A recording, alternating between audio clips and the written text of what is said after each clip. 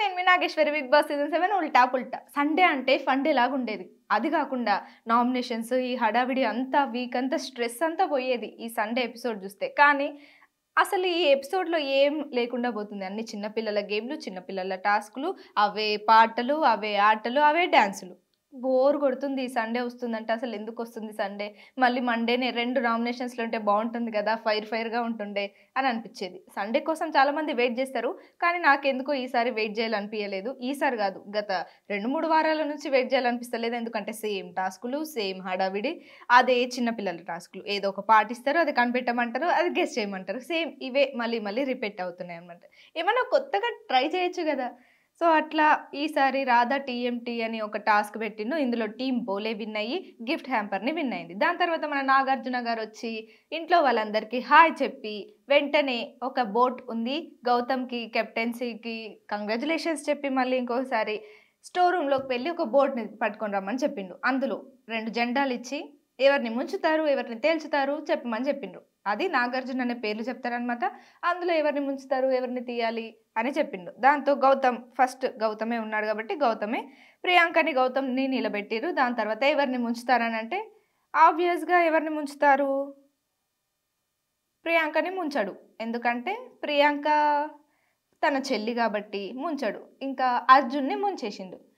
So అట్లా ఈ game చప్ప చప్పగా ఏదో అట్లా ఆడాలి కాబట్టి. ఇంకా ఆబ్వియస్గా తెలుసు ఎవరెవరు ఏమేం పెడతారో. తేజకి శోభని ఇంకా అట్లా అట్లా ఈ ముంచుడు తేల్చుడు అంతే అయిపోయిన తర్వాత మీమ్ ఆఫ్ ద వీక్ వేసిండు. మీమ్ ఆఫ్ ద వీక్ ఏం వేసిందంటే ఈ వారంలో మనం ఇన్స్టాగ్రామ్లో చాలా వరకు చూసినాం.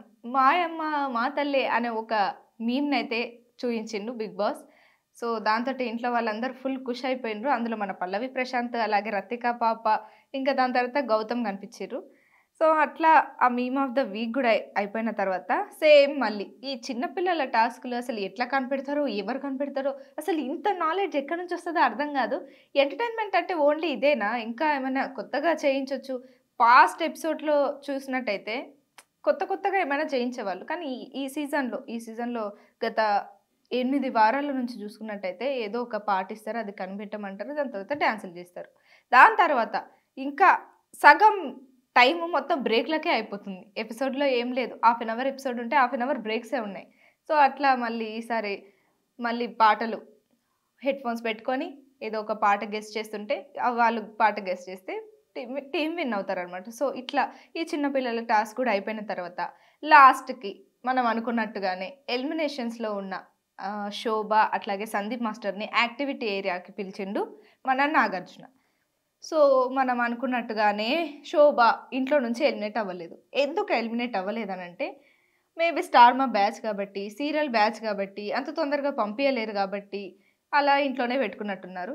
సందీప్ మాస్టర్కి లీస్ట్ లీస్ట్ ఓట్స్ వచ్చినాయని చెప్పేసి సందీప్ మాస్టర్ని ఇంట్లో నుంచి బయటకు పంపించింది. దీంతో శోభ బీభత్సంగా ఏడ్చేసింది ఎందుకంటే మాస్టర్ మీరు లేకపోతే నేను ఉండలేనని ఫుల్ కింద పడి కాళ్ళు పట్టుకొని అంత రచ్చరచ్చ చేసింది. సో ఓకే తను కూడా ఎమోషనల్ అయింది పాపంలే అని అనుకుందాం. ఇంకా దాని తర్వాత మన సందీప్ని స్టేజ్ పైకి పిలిపించిండ్రు. సందీప్కి ముందే అర్థమైపోయినట్టుంది. మేబీ నేను ఈ వారం వెళ్ళిపోతా నాను నేను నోరు జారిన ఒకవేళ అలా కాకుండా మంచిగా గేమ్ ఆడి కొంచెం మంచి బిహేవియర్ ఉండింటే మేబీ సేవ్ అయ్యేవాడేమో అని అనుకుంటే అప్పటికి మన శోభ వీళ్ళే ఉన్నారు కాబట్టి ఖచ్చితంగా సేవ్ అయ్యేవాడైతే కాదు. ఖచ్చితంగా మాస్టరే ఎలిమినేట్ అయ్యేవాడు. ఎందుకంటే వీళ్ళు కూడా మొత్తం స్టార్మా బ్యాచే కాబట్టి వాళ్ళని ఎట్లాగో ఎలిమినేట్ చేయరు. ఎవరిని చేయాలి? చేస్తే వేరే వాళ్ళని చేయాలి కొంచెం లీస్ట్ ఉన్న వాళ్ళని చేయాలి ఆట తక్కువ ఆడుతున్న వాళ్ళని చేయాలి. సో అట్లాగే మన చెత్త సందీప్ మాస్టర్ని ఎలిమినేట్ చేయాలి. సో అట్లా ఈసారి మన నాగార్జున గారు అలాగే ఆడియన్స్ అందరు కలిసి తీసుకున్న నిర్ణయం ప్రకారమో లేదంటే ఏదో జరిగిందో మాస్టర్ అయితే ఎలిమినేట్ అయ్యి బయటకు వచ్చిండు సో ఇంకా దాని తర్వాత ఫస్ట్ ఇంప్రెషన్ లాస్ట్ ఇంప్రెషన్ అని చెప్పి నాగార్జున చిన్న టాస్క్ ఇచ్చి ఇంకా ఇంట్లో నుంచి బయటికి పంపించిండు మన సందీప్ని. మరి దాని తర్వాత మరి ఈరోజు నామినేషన్స్ ఎట్లుంటాయి? అసలు ఎలా జరుగుతాయి? అదిగాక తేజ పోయిన రెండు వారాల నుంచి పూజామూర్తిని నామినేట్ చేసిండు ఇంట్లో నుంచి వెళ్ళిపోయింది. దాని తర్వాత నయని పవన్ని ఎలిమినేట్ నామినేట్ చేసిండు ఇంట్లో నుంచి వెళ్ళిపోయింది. రీసెంట్గా ఈ వారమే సందీప్ మాస్టర్ని నామినేట్ చేసిండు ఇంట్లో నుంచి వెళ్ళిపోయిండు. మేబీ సా అంటే తేజ నామినేట్ చేసిండని వెళ్ళిపోలేదు. అది కూడా ఒక రీజన్ అయి ఉంటుంది. ఎందుకంటే వాళ్ళని ఎవరు నామినేట్ చేయలేదు. ఎవరో ఒక పర్సన్ నామినేట్ చేసింది కాబట్టి నామినేషన్స్లో ఉన్నారు. సో అట్లా ఇంట్లో నుంచి బయటికి వెళ్ళిపోతున్నారు. నైని పవన్ అయితే అన్ఫేర్ ఎలిమినేషన్ అనే చెప్పాలి. సో ఆ ప్లేస్లో ఇంకెవరున్నా నేను ఒప్పుకునేదాన్ని. సో అట్లా మరి మన తేజ కాలు ఏ ఏ రకంగా ఉందో. అదిగాక తేజ ఏం మాట్లాడినా ఏం పనులు చేసినా అవి సేఫ్ ప్లేనే అని అనిపిస్తాయి. సేఫ్గానే మాట్లాడుతున్నాడు అనిపిస్తుంది. అక్కడ ఎంత సీరియస్ డిస్కషన్ జరుగుతున్నా దాన్ని కామెడీ చేసి పడేస్తాడు. అట్లా సిల్లిగా తీసి పడేస్తాడు. సో ఇదంతా మనకు ఎట్లా పోర్ట్రే అవుతుందంటే ఆ ఆయన కామెడీ చేస్తున్నాడులే అక్కడ అంత సీరియస్ మ్యాటర్ ఏం లేదులే అని అనుకునేటట్టు చేసేస్తాడు అనమాట ఆ యాటిట్యూడ్ కానీ బిహేవియర్ ఎందుకో నాకు సేఫ్గా సేఫ్ ప్లే ఆడుతున్నాడు ఇంకా ఏదో దాచుకుంటున్నాడు లోపల ఏదో ఉంది అన్నట్టు అనిపిస్తుంటుంది. సో అట్లా ఈ ఎపిసోడు సందీప్ మాస్టర్ ఎలిమినేషన్తో చాలా బోరింగ్గా నడిచిందని చెప్పాలి. అదే శోభ ఎలిమినేట్ అయితే మొత్తం యూట్యూబ్ కింద కామెంట్స్ బయట రచ్చరచ్చ ఎలా ఉండేదో చూడాలనిపించింది. కాకపోతే శోభ ఇంట్లోనే ఉంది. మరి ఈ వీక్ శోభ తన ఆటని ఎలా మలుచుకుంటుంది? తన నోరుని ఎట్లా కంట్రోల్ పెట్టుకుంటుంది? మరి రతికకి ఇదే ఛాన్స్. ఒకవేళ రతిక ఈ వీక్లో ఖచ్చితంగా నామినేషన్స్లో ఉంటుంది.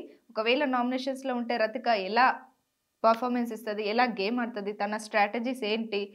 ఎవరు ఈ వీక్ ఎలిమినేట్ అవుతారు? అది ఇంకా పెద్ద సిచ్యువేషన్. మరి ఎవరు ఎలిమినేట్ అవుతారో మరి నెక్స్ట్ వీక్ చూద్దాం. అట్లాగే రేపటి నామినేషన్స్ కోసం వెయిట్ చేద్దాం.